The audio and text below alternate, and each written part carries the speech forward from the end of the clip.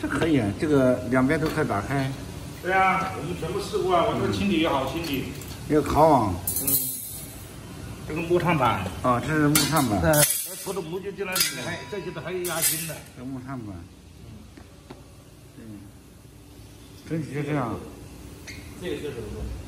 你这是是这样卖的话，这个折折叠怎么？折折叠折叠这样子这样，反过来反过来一个，啊。